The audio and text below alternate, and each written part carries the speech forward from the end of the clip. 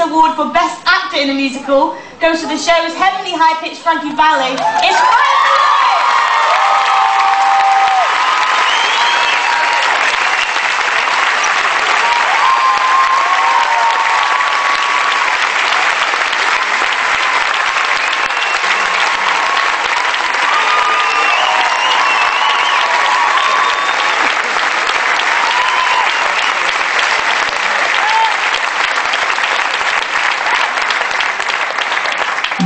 Whoa.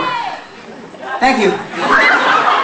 Thanks very much. Uh, wow, it's like winning the bingo. This is, uh, this is great. Oh, thanks so much. Um, it's great. It looked really good on my uh, mantelpiece in Crouch End. It's really good. Yeah, thank you very much. Uh, I'd like to thank everybody at Jersey Boys. Uh, we've got a great cast on there. I uh, really appreciate working with all those people front, front of the house, backstage, all the cast. Beautiful. Thank you so much.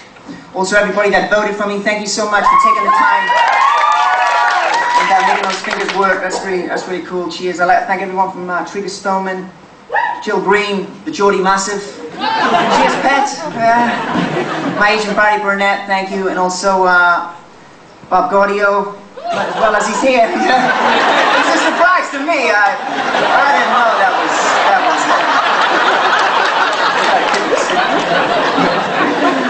I think Frankie's here as well. Oh, fuck!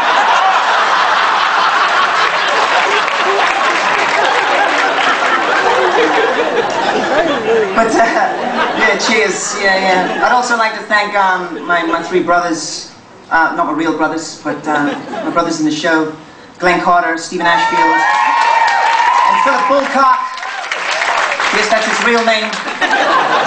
Yeah, uh, it's great. It's a privilege standing next to you guys in a spangly jacket. Thank you very much. Cheers, guys.